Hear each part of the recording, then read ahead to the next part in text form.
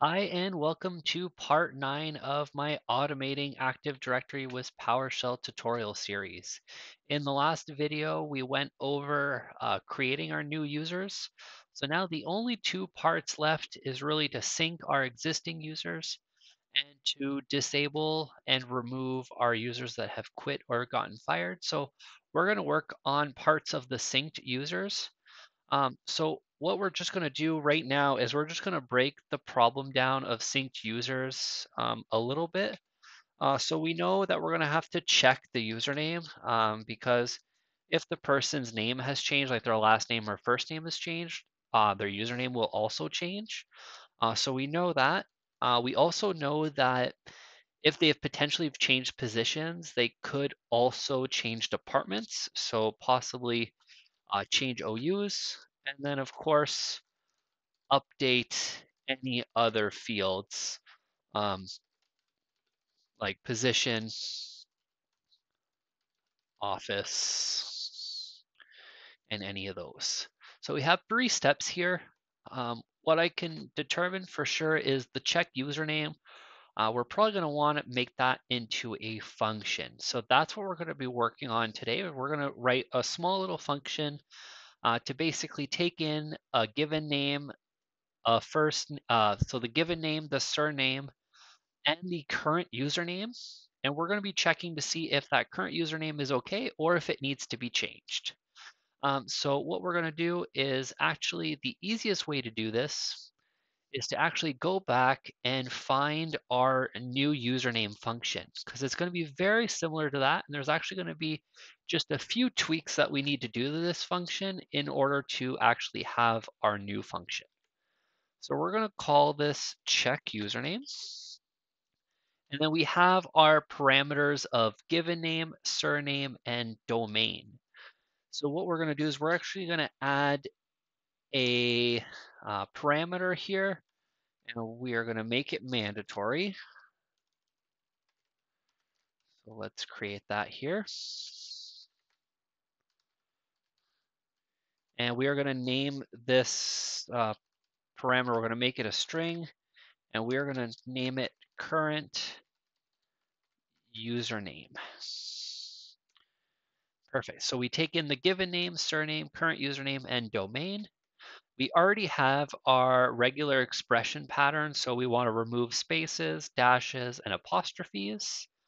And then we have our loop to check. Now, uh, the loop is really the part that we're going to be really changing.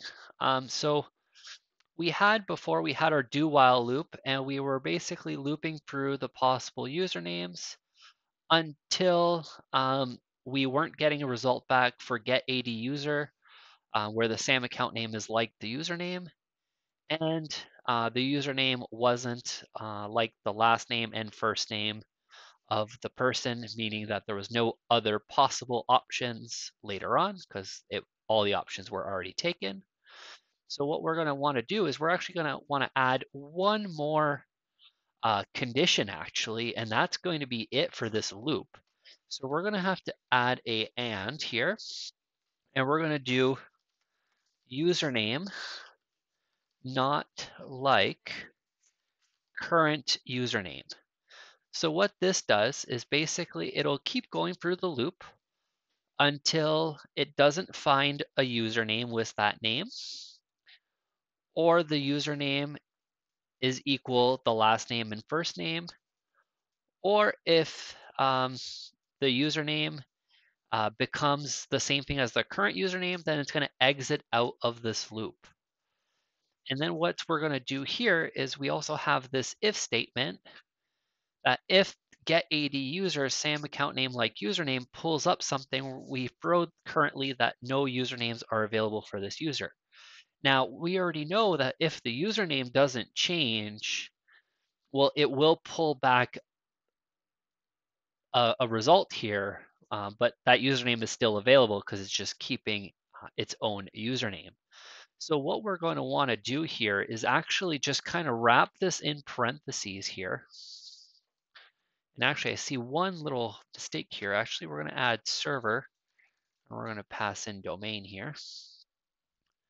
Uh, we're going to do the same thing here just for It's not super necessary if you're running it on the domain, uh, but I'm going to update that as well up here just for the sake of having it as possible bug-free as we can get. All right, so once we have this wrapped in here, what we're gonna wanna do is we're gonna wanna do the and again, and we're gonna put username not like current username. So what this does, what this if statement does, so let's say if we pass in um, a given name, a surname, and a current username, and the username doesn't change.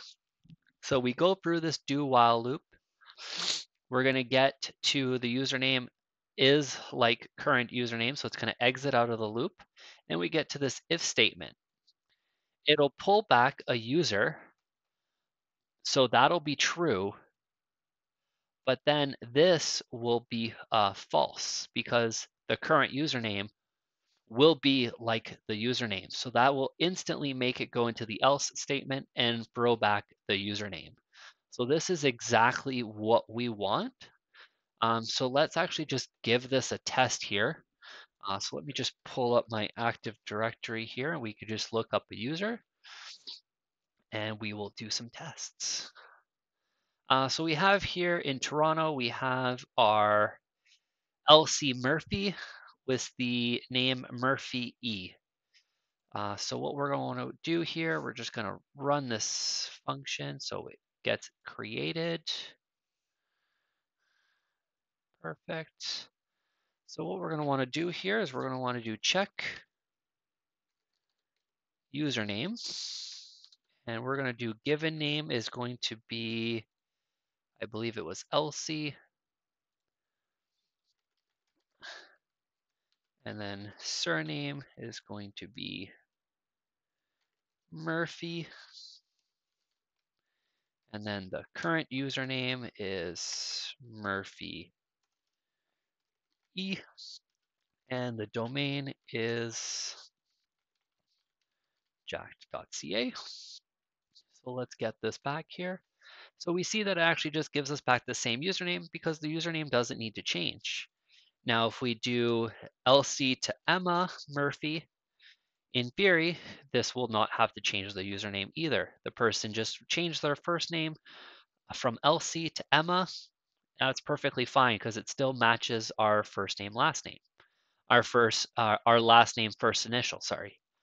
Uh, but now, if we decided to change the name to, let's say, uh, Jason, so Elsie became Jason here, and we do this check, we actually get back the username Murphy J.